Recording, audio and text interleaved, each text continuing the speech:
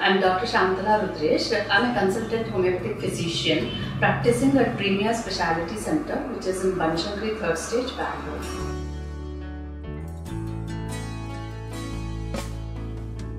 No, homeopathic treatment is not slow. The people who choose homeopath to come to homeopathic treatment, uh, they come very late because they try all this, all sorts of medicines, uh, and then when they, it doesn't help, then they come to homeopathic uh, physician as a last resort.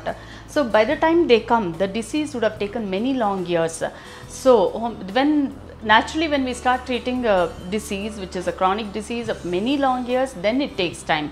But when they come for cold or co- cold or cough or any fevers acute fevers uh, it can be as fast as within 24 to 48 hours. And if patient complains of diarrhea or loose motions or any other acute uh, conditions, then the treatment can be as fast as within 24 to 48 hours.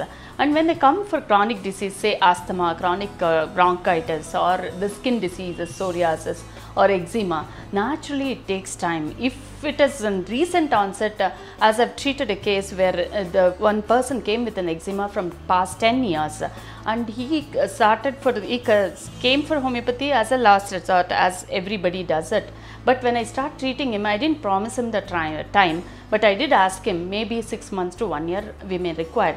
But when I started off with the treatment for the eczema with the secondary infections, the treatment was as fast as like within one month he was 50% better, and another 15 days he was almost 80% it cleared. And now after two months of treatment, completely the eczema is not there. So it can be very fast and slow in certain diseases where they would have loaded with most of the medicines and our medicines take time to uh, react in the in the body. The dietary restrictions it is not to the point like it is not to the patients in all the cases it depends upon the disease what which they come for. Say if a patient comes for gastritis then i may have to ask him to quit smoking and then start i mean reduce the coffee intake and such things. And if other patient comes for arthritis problem then i may not tell any dietary restrictions at all. It depends on the case what they come for. And certain diseases say if the patient comes for diabetes of course and i need to say the dietary restrictions over there. It depends upon the disease what they come for what they present with and not really. For homeopathy the dietary restriction the coffee should not be uh, i mean taken and things like that. Is a myth of homeopathy. It is definitely not. It depends upon the disease where what disease we are treating. Depending upon that the dietary restrictions are told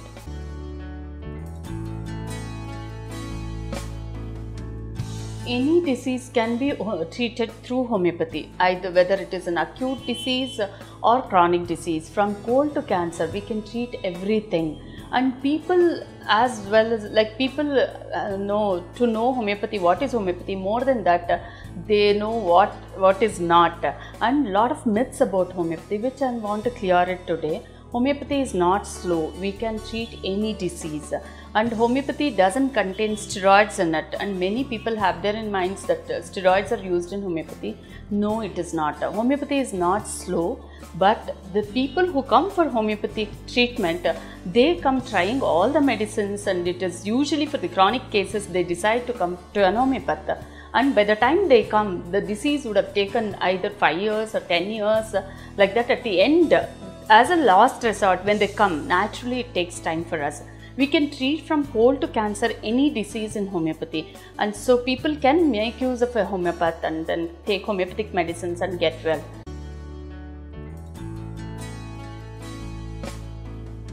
homeopathic medicine does not contain steroids. It's a myth of homeopathy where people carry in their minds.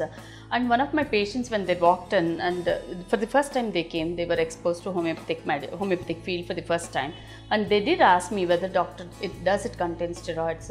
I told them I'll be sitting here. You can take the medicines to any laboratories on earth, get it examined. Till then, I'll be sitting here only. You can always come back so it is it is not so please don't be carried away with the myths of homeopathy homeopathic medicine contains the medicines are made up of all the natural resources uh, like say from uh, from chemicals to snake venoms and whatever the natural resources plant resources are there animal resources are there metallic resources are there and chemical compounds like arsenic uh, calcium magnesium, iron, and sodium, potassium, whatever the natural resources are there. Our medicines are prepared from the silicea, the mud, like silicea, we call it as a scientific uh, name.